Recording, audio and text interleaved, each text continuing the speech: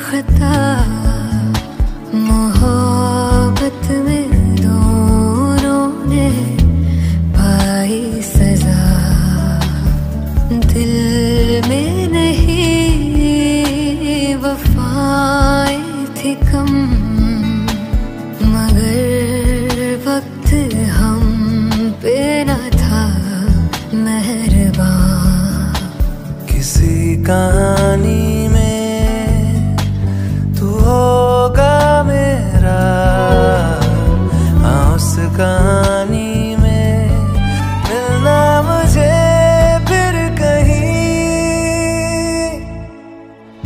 happy.